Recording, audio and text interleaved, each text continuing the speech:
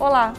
Acompanhe agora as principais notícias da semana da Câmara de Vereadores de Santa Maria. Na sessão plenária do dia 6 de julho, os vereadores aprovaram duas matérias. A primeira matéria é de autoria do Executivo Municipal e autoriza a abertura de crédito adicional no valor de 644 mil reais. Esse crédito visa a contratação emergencial de profissionais para atuar na Secretaria de Meio Ambiente e também na Secretaria de Estruturação e Regulação Urbana. Já o segundo projeto aprovado é um projeto de resolução legislativa, de autoria da mesa diretora, que estabelece diretrizes para a elaboração do Plano de Gestão e Logística Sustentável aqui da Câmara. Em sessão extraordinária na mesma data, os parlamentares aprovaram outros dois projetos. Esses projetos também de autoria do Executivo Municipal. O primeiro projeto cria o Conselho Municipal de Acompanhamento e Controle Social do Fundo de Manutenção e Desenvolvimento da Educação Básica e de Valorização dos Profissionais da Educação. É o Conselho do Fundeb.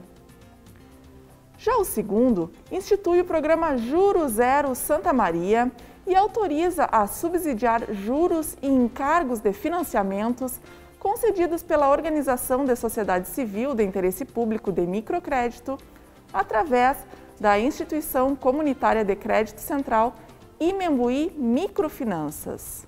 Ainda nesta semana, passou em primeira discussão projeto de lei que autoriza o Executivo Municipal a contratar excepcionalmente e por tempo determinado seis farmacêuticos para atender às necessidades temporárias de interesse público.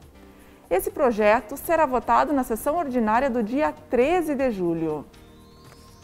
Começou a tramitar aqui na Casa Legislativa projeto de lei do Executivo que concede isenção fiscal de ISSQN a empresas de transporte público aqui do município de Santa Maria, em razão dos efeitos econômicos da pandemia.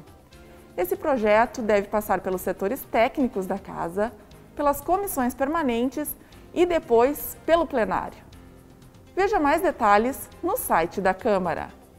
A Comissão de Educação, Cultura e Lazer promove audiência pública para ouvir a comunidade a respeito da atuação de psicólogos e assistentes sociais na rede pública de educação básica. A plenária está marcada para o dia 14 de julho a partir das 5 da tarde e acontece aqui no plenário da Câmara de Vereadores.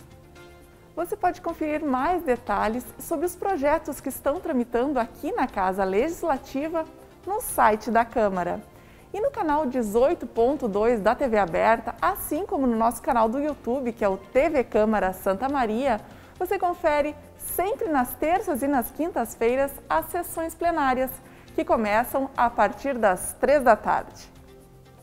TV Câmara, a tela da cidadania.